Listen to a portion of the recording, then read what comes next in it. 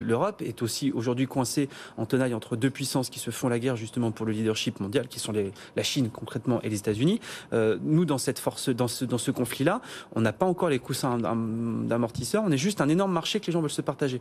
Donc, si jamais on n'arrive pas à avoir justement ces armes-là et cette défense-là, bah, on court à notre perte. Donc, se lancer dans une guerre protectionniste qui ne fera qu'au final s'escalader, etc. Je pense que le pragmatisme, des fois, n'est pas forcément une bonne chose. Et un petit peu d'idéologie libérale ne peut pas faire de mal. Ouais, je suis d'accord. Euh, juste euh, entre, entre, ce que disent les bouquins, les théories, et puis ce qui se passe dans la réalité, là, je trouve qu'on a une, une, enfin une, une démonstration que.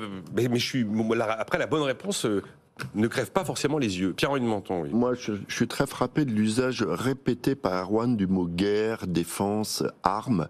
Il y a une guerre, il y a une défense, il y a des armes en Europe, hein, c'est en Ukraine, et c'est les Américains qui payent la facture, hein, 85-90%. Hein, c'est pas euh, donc euh, ça, c'est quand même quelque chose de tout à fait nouveau par rapport à ce qui se passait sous Donald Trump, hein, où on avait replié le, parapluie.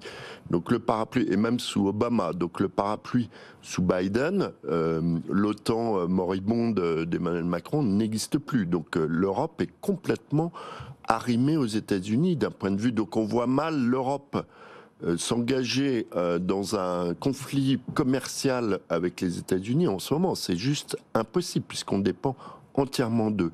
D'autre part, si on se met sur le terrain de la compétition économique, et on parlait de la politique monétaire, il y a un avantage comparatif quand même en ce moment très important euh, de l'Europe, c'est le niveau de l'euro face au dollar.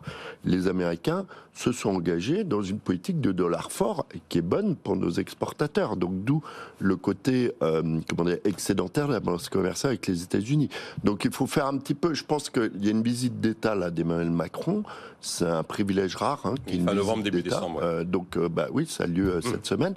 Je pense qu'il faut prendre en compte les deux aspects. Il y a un aspect politique, diplomatique et un aspect économique. Et si on ne, on ne parle que d'un sans évoquer l'autre, il nous manque une, une, en tout cas une clé de compréhension. Mais c'est vrai que le Sleepy Joe, il n'est pas si sleepy que ça quand même. Et dans, parce que je, dis, je disais, Erwan Tison, il y, a, il y a effectivement ce que disent les bouquins, ce que dit l'histoire sur les périodes de protectionnisme. Ça se termine jamais bien, ça se termine toujours avec de l'inflation. Mmh. Bien que là, il pratique un nouveau protectionnisme, qui était d'ailleurs assez bien décrit par Anne-Sophie bah, C'est la constante quand même de la politique oui. économique américaine. Il y a oui. des petites phases sous Clinton, mais ou euh... des petites phases, euh, on va dire, euh, libre-échange, mais, mais, mais, sinon, l'opinion publique américaine, elle est protectionniste, et les parlementaires américains. Mais, mais, mais là, c'est un protectionnisme par la norme verte. Oui.